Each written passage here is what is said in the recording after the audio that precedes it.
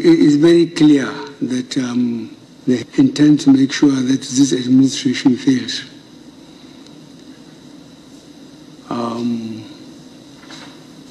I'm getting good intelligence report on daily basis. The question of insecurity in the country is being mentioned all over the world, not only here in Nigeria. Um, but I believe there are Nigerians that will attempt at least to be fair by what I believed, that I will run the country according to the Constitution. Now, with all these people who want power, whether whoever they are, have they proved that I was not following the Constitution? Am I not leading the country according to the Constitution? What do they want?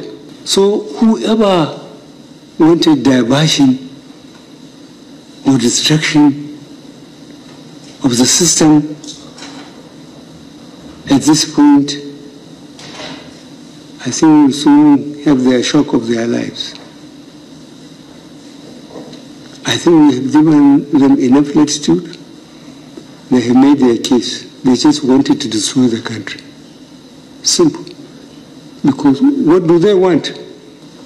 And we are concentrating on infrastructure because no country or institution can be developed without infrastructure. Now, for those of us who are unfortunate to be in the field for the 30 months of the Civil War, to see the carnage of how we kill ourselves, at least a million people, I think those that are misbehaving, they were either too young, they didn't know what happened. But for those of us who went through all these things, uh, we, we can't understand. So we will treat them in the language they understand. So I, I feel for your understanding and so on. We are going to be very hard sooner than later. Um, we have done our best, changed the service chiefs and the IG. We allow them time to go around uh, to make necessary changes for them to be firmly in charge. We'll try and give them the resources they require and we will, we will demand security sooner than later. I thank you very much for your presentation. I assure you that this administration will do whatever we can do for you so that we don't give anybody excuse to blame us that we don't want to go or we want to have a third term. What about my deputy Osinbajo? Why una no dey call their name na only to dey shout buhari buhari like say na only me scatter the economy make una just prepare una mind because the hardship sef never even start as i dey see this economy i swear to god e no go repair again because even me sef no know wetin i go do. the way we tend to think in this country mm -hmm. in um, in uh, Spain, the Catalonian region wants to secede. In Quebec, in Canada, Quebec wanted to secede. In, in, uh, in, uh, in uh, the United Kingdom, Scotland wants to move out of, of the United Kingdom. Everywhere in the world, you have these nationalist tendencies. There is nothing new about it happening in Nigeria. It's about how you respond to it. You say, okay, you want to have a referendum, but it's not in the Constitution. So why don't you go through the political?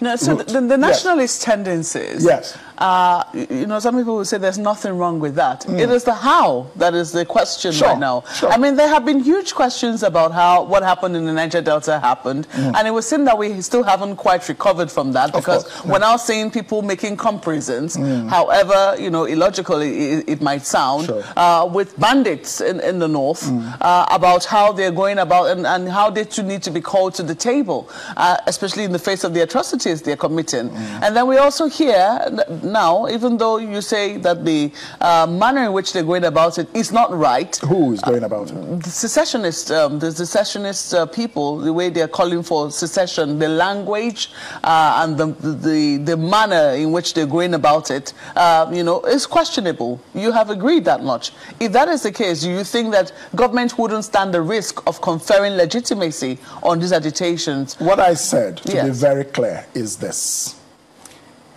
if people are violent, then the government has the right to respond to protect the citizens of Nigeria and to protect Nigerian territory. If people are not violent, but they're mouthing a political agitation, that should never have been made criminal. It is an expression of their view. The government should then say, if this is gaining traction, here is what we need. We need to sit down and talk about. Do you think words can be violent? Of course, words. Words can be aggressive. Um, there's hate language. There's hate speech. Sure, I, and I disagree with those things. I, I would never support hate speech. I would never support violence in any way. Sure, it's possible.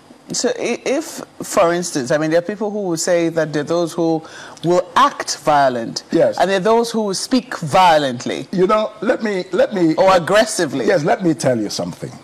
Why are we avoiding addressing the issue that is behind these agitations? Why do we always focus on the agitation itself and on criminalizing it? It is just a lack of leadership. That's my own approach. Go to the root cause. Go to the root cause. If people are feeling alienated anywhere in the country, reassure them. Address the issue. If is there some inequity in the country, in, in political representation or opportunity, leadership opportunity? Is there some inequity uh, in appointments? Is there nepotism going on? All these things, go and address the root cause. That's my point. It's a very lazy way of addressing issues like this to just, you know, always focus on what the agitators are doing, but you don't want to address what their complaints are. I don't think that's leadership. I think that's a failure of leadership. That's my quest. That's my that's my approach. But I do believe that this country has a lot of potential. It can work. Nigeria can work well. It's not the only heterogeneous country in the world. Many countries are, you know, homogeneous, that is, people of one ethnicity, but there are many more countries that have a combination of. And the best way to run a country like Nigeria is for it to have a proper federal system. That's the point. Proper federalism.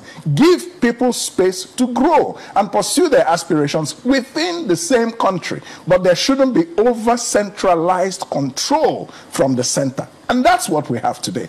That's part of the problem. Why don't we go and address that root issue rather than, you know, just. Yeah.